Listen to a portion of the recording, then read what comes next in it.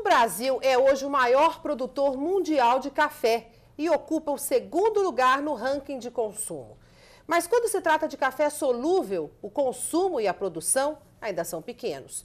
Para aumentar a produção desse tipo de café, o governo abriu uma linha de crédito.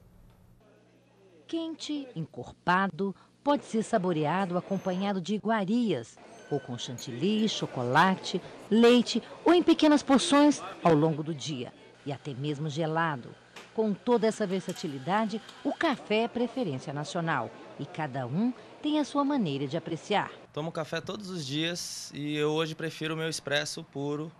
Tomo ele puro porque depois que a gente aprende a tomar café especial, a gente já come, começa a aprender a ver a doçura do café, a sentir a acidez, o amargor do café. Tem vários blends, vários tipos de café, então dependendo do café, eu gosto de, do macchiato às vezes, com um pouco de leite, porque aí quando o café é um pouco mais amargo, ele é, compensa esse amargor. Com leite. Sempre? Sempre.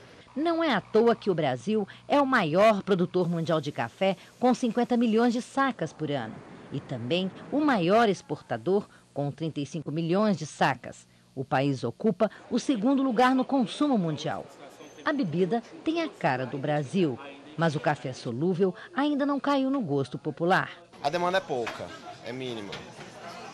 Não tem costume, não tem hábito. Até a questão de cultura. Não há essa necessidade. Existem pessoas que realmente consomem cappuccino, enfim, mas aqui a princípio não. Mas não é só o consumo de café solúvel que é pequeno no país. A produção também, das 50 milhões de sacas produzidas por ano, apenas 4 milhões é de café solúvel. Para estimular a produção de café solúvel no Brasil, o governo abriu uma linha especial de crédito. Dessa forma, nós estamos criando uma linha de crédito de 150 milhões de reais, com recursos do Fundo de Defesa da Economia Cafieira, para que a indústria do solúvel possa se financiar em melhores condições, a taxa de juros de 7,5%. Essa é uma linha rotativa de dois anos de prazo, eh, que certamente fortalecerá o capital de giro dessas indústrias, dando-lhes melhores condições de competitividade.